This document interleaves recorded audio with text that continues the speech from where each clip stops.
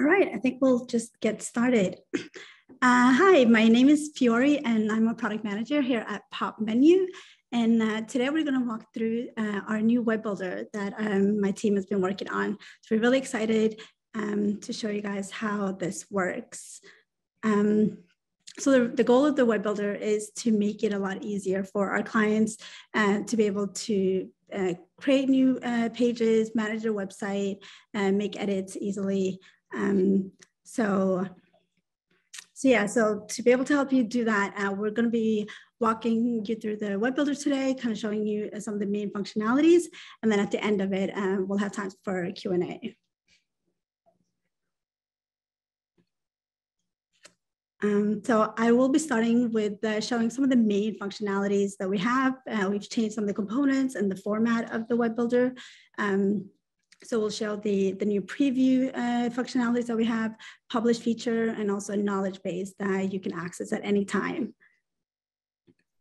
Um, I'll also go through some of the main uh, new features like creating, how to create a new page, how to add a new section, and how to edit uh, the content in the web builder. And then as I mentioned, I'll, uh, we'll have time for Q&A at the end.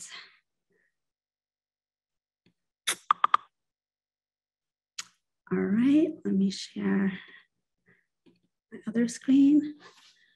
All right, so to access the, the new web builder, you would go to the same place where you go today on the main um, navigation, where so you click on the web builder, um, and then you'll see that you'll have a whole new format of what the new web builder looks like. Um, if you want to go back to the old page editor, you can always click on this button at the top where it says looking for the old page editor, click to go back. When you click back on it, just click confirm. And then you'll see that you'll have the old web builder uh, at the bottom here. And you can go in and make any edits like you would do um, today using the page editor. The only thing that is different with the with this is that when you do go in and make any changes on your website using the page editor, you still would have to go and click on uh, publish. And the reason for that is everything in the web builder now is a draft mode, meaning that when you make any changes, that's not going to go live automatically onto your website. You would it's a draft mode, so it would just um, you're just saving it um, as is as what it would look like once you hit publish. So you still have to click publish, and then it would go live. And that goes for both the old page editor and the new page editor. Um, and you can use both of them um, as you please. So all the changes that you make on the old page editor will also be visible on the new one. Uh, now for the new one. So this is what the new page uh, web builder looks like. And you have some ma main components here. Um, so this is your website. This is in draft mode. Uh, and then your um, left side panel here is your uh, preview, meaning that everything that you see here is um, what your website would look like. So once you hit publish, then that will go live. Uh, this is also where you see all your edits um, live. So once you make any changes, they will be auto saved and then you can see them here. Um, and then once you're happy with what that looks like, then you can uh, go ahead and click publish and then it would go live. Uh, this will prevent you from making any changes. And then if you don't like it, um, they won't be automatically live on your website. You can still, you know, review them before you, uh, you hit live or you hit publish for them to go live. So that's on your preview uh, panel. And then on the right-hand side is your all your settings. This is where you'll make all the changes. So you have two main settings here. You have all your pages.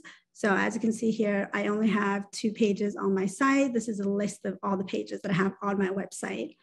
Um, this is also where I can add new page and I will walk through that in a minute. Um, and then when you click on a page, you'll have all of your sections that are within that page. And you could click on the section to make those edits. And I will show you that in a minute. Um, on the left side, on the right hand side here, you have settings. These are all your global settings. So you can go in and add social media to your uh, website. You can add a reservation. If you click on reservation, it will take you back to MyPop outside of the web builder. And so it will take you to location settings. And then you can update your location and hour. scroll down and you'll see your reservation uh, here and you can add uh, whatever reservation that you, uh, that you use and then that will be added to your website. To go back to, um, then once you're back in the, um, on your website, then you'll be able to see that reservation will be added to a location section if you have that on your website. Other changes that you can make here, you can edit sign up forms. Um, you can also edit your logo settings. So you can add, if you want to change your logo settings for the restaurant, you can add that here uh, or your footer logo, you can add that and that will be updated onto your website as well. Uh, other things that you have here are, so like I mentioned, your publish button will be up here. Uh, you can also have, you also have a mobile view, so you can see what it looks like on, uh, on a mobile. Um, and then in addition, we also have a knowledge base. So if you click up here, you'll get a list of uh, support videos, uh, demo videos of what thing, how you can do things. So for example, if you wanted to add a new page, you can click on that and then you'll see a video of how to add a new page. And then also you can read about how uh, step-by-step how to do it as well. So you have access to all kinds of videos um, from your knowledge base.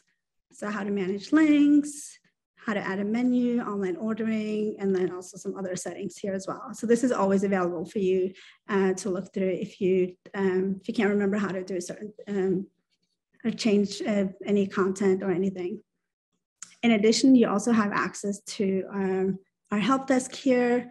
Uh, you can search for support documents. So we do have support documents uh, that are related to the new web builder. So you can also search for that here or send us a message if you have any questions. So those are some of the main components. Uh, next, I will walk you through how to um, add a new page and add a new link to that page. So as I mentioned here, you click on pages and then you'll have a list, uh, all of your pages will be listed on the side panel here. To add a new page, you would just click this plus button and then you can name the page, whatever you want to name it. So call this about us, for example, and you can choose whether you want this page to be visible or not. Once the page is added, uh, you'll see that it's uh, listed here on the side panel, but as you can see, it is not on the navigation, and that is because we haven't created a link yet.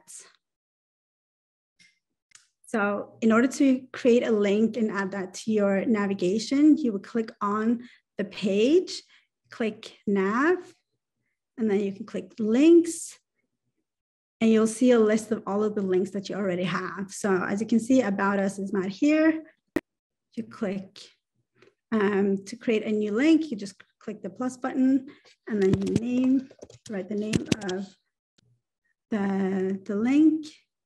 And then here you can choose whether you want it to be a custom URL, blog, page, review, um, sign up menu, sign in. Um, so for now, let's say we want this to be a page. And then you link that to the page that you just created. So that's the About Us page. And you can also make that a featured um, link as well if you wanted to. So now you can see that the page is added to your website. So here's the page. And now that's how you would create a new page. And now once you've created the page, you'll see here that you'll have a header and then that's kind of about it. Um, to, so to you know, create the new page, you would have to add new sections. And there are two ways you can do that. Um, you can do that by hovering over at the bottom of the header section, you'll see add section. And once you click on it, you'll see that um, you'll have options here in the dropdown of all the sections that we have available. So you can scroll through and see whatever section that you want to add. You'll click on the section and then you'll see what the section looks like. Uh, some of the section you have multiple options like text box. So say we want to add this one. And then it is now added to the new to the page. Um, and then on the sidebar here, you'll see all the settings that are um, for you to be able to edit the section here. So at the top here, you see the section heading, it says text box. Um, if you want to change it to anything, just write whatever you want to uh, call it, and then you'll see that it automatically be saved on the um, on the site. And the same goes for the um, other settings here. So you can change the subheading and then the heading as well. Mm, paragraph here, you can add um, add any text. If you wanted to add a display button, you would just click on display button here, and then you'd see that a text uh, button would show up. Here you can change the name of the button, call it menu, for example. Uh, it's a custom, or maybe it goes to your menu page. If you had one, you can do that. And then you can target uh, any page here if you wanted to do that as well. Um, here's uh, optional if you wanted to have a photo, you can just click on uh, swap photo and then choose whatever photo that you wanted to add. And then the photo would be um, updated on your site as well. You have some additional settings here, uh, some content settings, um, background settings as well, and advanced settings. One thing that's important to remember is that everything on the web builder is um, all the settings in the web builder are the same as the settings that you have in the page editor. So you'll be able to find all of the settings that you are, normally used to using. You'll be able to find them here. Um, it looks like there's something wrong with the page. One second.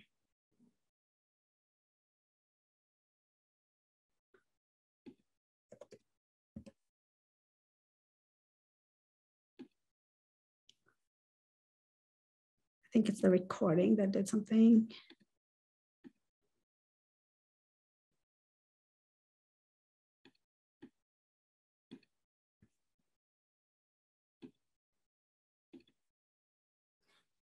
Okay, there we go.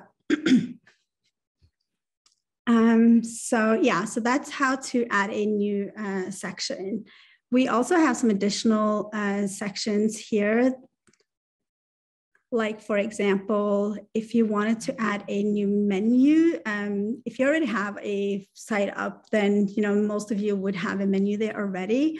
Um, but if you wanted to add a new menu, for example, um, you could, you would first have to go back to MyPop um, to menus here and add your menus, uh, or you could, you know, edit your menus like you normally would, and then that would be updated on your website.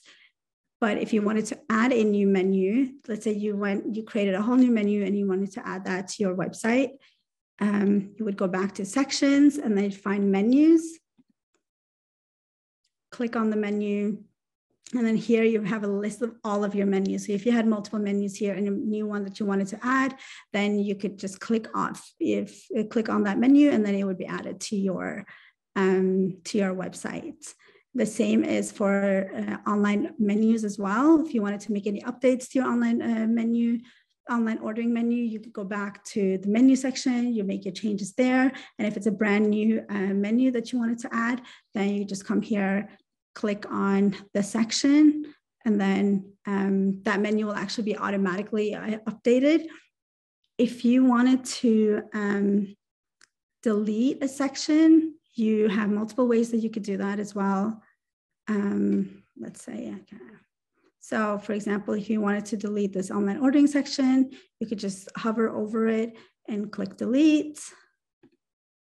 And then you'll see that it's gone on the sidebar here and also on your, um, on the pages. Um, so yeah, that those are the main functionalities uh, that we have. Uh, our goal, like I said, is to make this a lot easier, more intuitive for our clients.